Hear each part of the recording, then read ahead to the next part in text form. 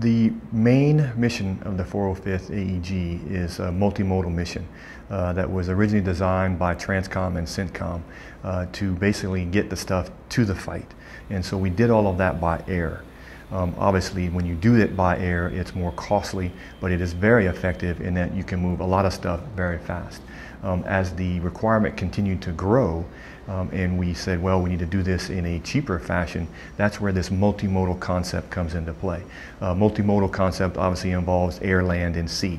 Um, so we transitioned from flying everything into Afghanistan into bringing it to a multimodal hub uh, as they developed here, the 405th AEG. Our mission here is to actually transport cargo from Afghanistan back to the States.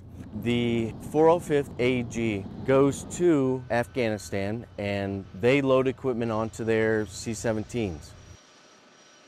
And then we offload that equipment, put it onto the ground portion via convoy down to the port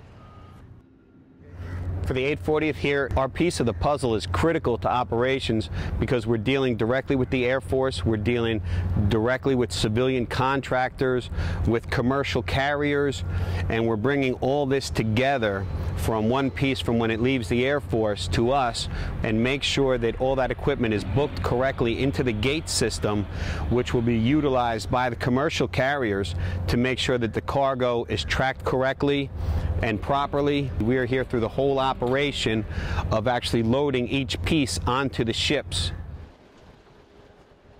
We continue to move cargo in and out of the theater. We've actually increased the cargo flow through this multimodal hub since the summer. Um, we were moving about 150 pieces a month and we've exceeded that um, well over 400. Um, and we want to continue to do that because of the multimodal hubs uh, that Transcom owns, they own four of them, uh, this one is the cheapest of all of those four. Um, so while we continue to move more cargo, we're also saving the taxpayer dollars as well um, as we execute that mission phenomenal total force team, again, coming together uh, to execute the mission 24 7, 365. Um, I couldn't ask for a better group of folks, and it continues to get better every day.